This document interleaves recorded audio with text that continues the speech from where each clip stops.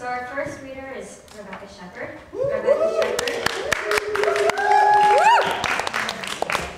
Rebecca Shepard is a second year undergraduate Sarah Lawrence student. I see her always smiling and happily strolling around campus. She has a wonderful sense of humor and direction. I've had the privilege of seeing her in action as a co-pilot on an SLC van coming from the city. she has published poetry, nonfiction and fiction, online and in various literary magazines. She is a recipient of multiple creative writing awards and the co-founder of a creative writing program in Boulder, Colorado.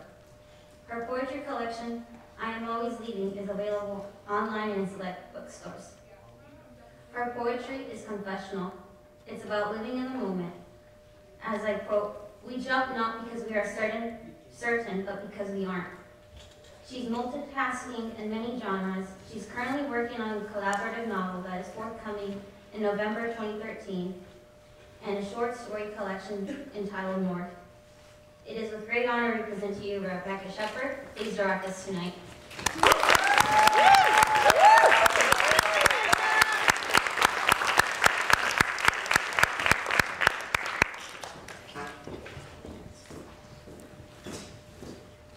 Thank you very much. It is an honor to be here, and especially to be opening for a poet that I have so much admiration and respect for. So thank you to Poetry Festival, and thank you for being with us. I'm going to read one piece. It's a bit of a one, so bear with me. Cleat. A. His nails are bit pink. Bare-bottomed ears flicking to the last paragraph of the novel. He studies the newspaper in his father's ashen underwear, smokes sage cigarettes, regards windows and doorways as though they're in miniature, as though he is half snow, able to fall through dollhouse world. V. Who was in the courtyard? Who was on their knees in the kitchen the day Petrograd became Leningrad? Washing linens in veined water, he asks me in the thumbprint light before I am. His voice like a grandmother's who remembers the marching orders of history in her wrists and swollen ankles, but cannot recall won. Who is scrubbing the potatoes? He has the gay man's respect for a woman, the immaculate object with its dirty but necessary curves. C. The responsibility of cities, he says. The moment a boy picks up the slingshot for the first time. D. Late November, he stands flush behind me, points out the way winter erases without ever losing its form. It is an outline, he claims, not death proper. Fifth position dancer with an arm raised taut as a kite string. November understands the greatest lie. Life can't be traced onto death, and so your greatest fear is fabricated. Knit with these pencil-marked branches, with my breath against the hair on your neck. E. His underwear velcros away from his skin like an orange being peeled. What he has already shed clogs out my fingernails. He bends like a puppet, scarless, unblemished, able to forget his own nudity. F. His is the turpentine light, the smell of storerooms and eucalyptus and money. He has changed hands many times. As a lover, he knows this. Pleasure is every pass before taking his own. G. Everything we must learn, he cries, is what we've already lost. The mind. Ocean water two inches past where light reaches. H. He smokes while we make love. Why not defy death, he says, as two men together have no illusion of immortality. My sperm will never become anything inside of you, will only caulk your fissures. We are non-refill pens, one-way tickets on a train through dissolving country. Or maybe we are the countries themselves. Yugoslavia in 91, Burundi in 94. Tom and Frank, Antoine and Leo, not sin, just dead ends. And then a pause, and a sigh. And far, far off, as through the quarter of some foreign apartment building, a door blowing shut in the sun's full and windless air. I. The hair on his thighs curls like gorse.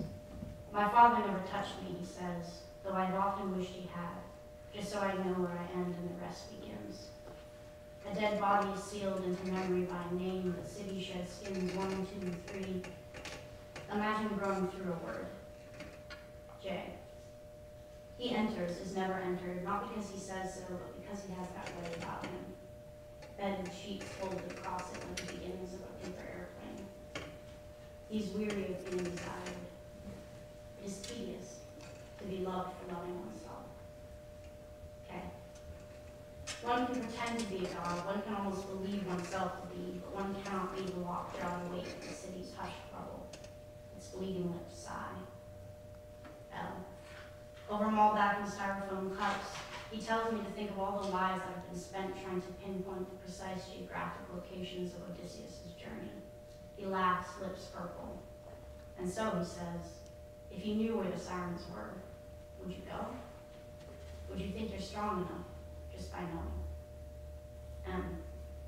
If you knew where the Elysian fields, no, let me rephrase, he says, standing on unzipping his fly to piss off of the balcony. Can you believe in something without needing it? And Port LaJoy became Charlottetown, his eyes glazed. Leopoldstadt, Kinshasa, Louisiac, Poli, Espadon, Isfahan. La Plata, Ciudad de Perón, La Plata again. Cities, red need for language. Oh. A Pole is burning as his candle does, self-conscious, nude, finite. He collects the wax and warms it between his palms an amulet. P. Some days he cannot be cried from the window. He says he's waiting for the right diameter of a snowflake. It's not insanity, he says. It's attention to detail. What do you think of when I'm inside you? He asks one day as he smokes and washes the dishes. You, I say. Or did I say nothing? You're lying, he replies. Sex is not the end of wanting. We must use the mind to think beyond it. Say, imagine that X is about to walk in, or that I'm the music teacher you used to daydream of. R. Now, but only for this exact instant, are you thinking of the soap suds on my forearms and the way I'm talking to the cigarette in my mouth. S.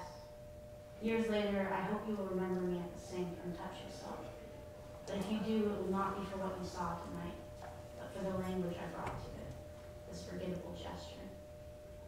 T. You will never be able to visit Saigon. Think, he urges, only in the mouths of others.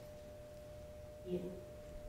But history swallows names too, I point out, and he begins to lose sleep, the same as everything else.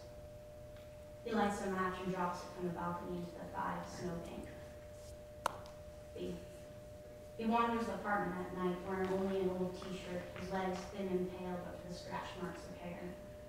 Of any possible combination on a man, only a t-shirt is the most unattractive, he brags. W. There's a problem, he says, while packing my bags, in treating love the way one treats faith. Not a moral, but an ethical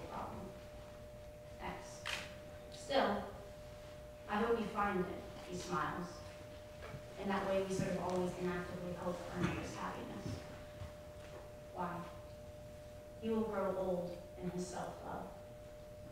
See, August, darkness only a brief blip in the night. St. Petersburg becomes Petrograd for fear the old name sounds too German. Languages revolt against